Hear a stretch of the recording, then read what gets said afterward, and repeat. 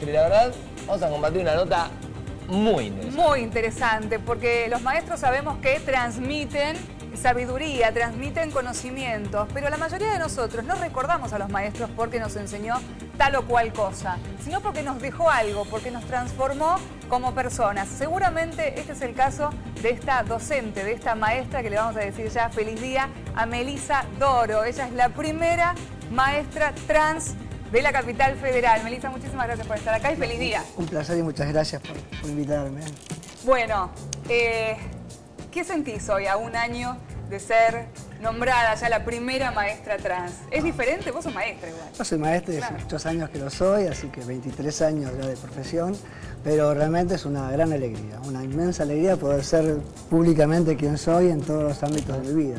Claro, ¿cómo, fue esto? En 23 años, ¿cómo fue tu, tu, primer acercamiento a la docencia y después este animarte, como decís vos, a contar quién sos y a poder ser íntegramente quien sos en todas las circunstancias y situaciones de tu vida. ¿Cómo fue este proceso? Bueno, fue, yo siempre estuve relacionada de alguna manera con la educación, ¿no? Desde chiquita me gustó, me gustaba enseñar, me gustaba estar con chicos, me gustaba hacer actividades.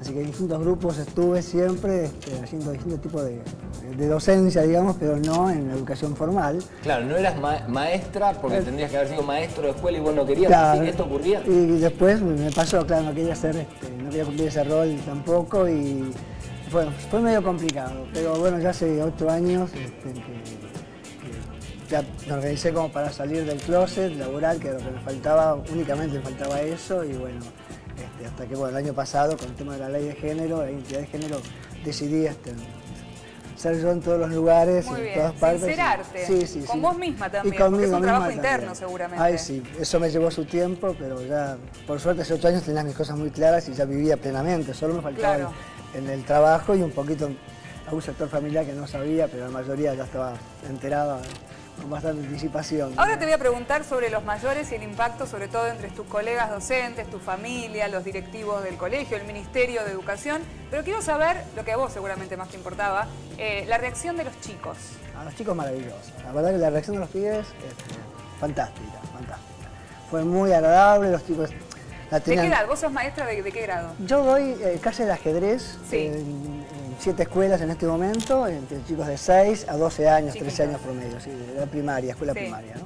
Así que, pero en todos los niveles, en todos los grados, con mucho afecto, mucha ternura, mucho mucha alegría, ¿no? Pero a ver, este, porque no conocemos las circunstancias en las que se dio este cambio, porque si no quizás nos quedamos afuera y la gente también. Sí, sí, es complicado. decidiste integrarlos a ellos y contarles tu vida, cambiaste tu aspecto también en lo laboral. ¿Cómo fue esto? yo, me, yo venía haciendo una transición lenta y suave, lo más suave que podía, porque yo ya a blanquear con ley o sin ley hace muchos años, ¿no? Sí.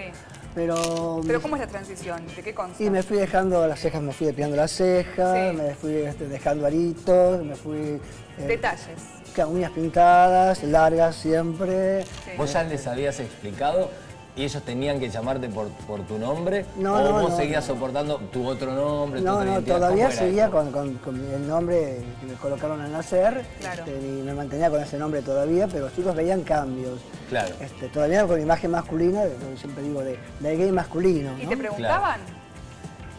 Eh, ¿Por qué las uñas largas? ¿Por qué la Los hombres, no, los hombres no usan uñas largas, me ah. decían. no se ve, no se pintan las uñas. Bueno, me gustaba pintarlas, hacer otra cosa. Siempre de, alguna manera este, eludía sin eludir las respuestas, ¿no? De alguna manera dando pistas, pero no, no en forma tan, tan directa. Este, y así se fue dando a lo largo de los años, estoy hablando de una transición muy larga, ¿no? Este, pero donde se postergó esa transición por unas cuestiones familiares, por las cuestiones... Además no quería ser la primera. Yo realmente no quería ser la primera. Yo hace ocho años que estaba por salir. Pero no quería ser la primera porque era muy fuerte. Este, yo sabía que iba a tener cierta repercusión. y no lo pude eludir, me cansé de esperar. Salió la ley y dije, bueno, ahora sí, ya está, no tengo más excusas, no hay más argumentos. Si nadie salió antes, bueno, que va a ser alguien toca ser la primera, como me dijo Soledad Acuña, su secretaria de Educación, cuando me entrevistó, en la charla que tuvimos. Este, me dijo, bueno, alguien debe ser la primera, te toca a vos, adelante, ¿no? ¿Qué va a ser? Sí, la responsabilidad también, ¿no? Porque ahora hay una mirada social muy abierta, pero también vamos a lo otro, a la ah, mirada de la sociedad que por ahí juzga, la mirada de la sociedad que ah. teme, de los, padres, los chicos, ¿qué pasó con eso? No, vos imaginate que yo hubiese hecho esto solo 10 años atrás, es un escándalo nacional. Sí. Uh hubiese tenido que dejar la docencia. No, me, no, no me hubieran aceptado en la docencia. Diez años atrás, imposible. Ni hablemos de 20, 30 años atrás. Hubiese estado presa por usar ropa que no correspondía con el género que se me asignó.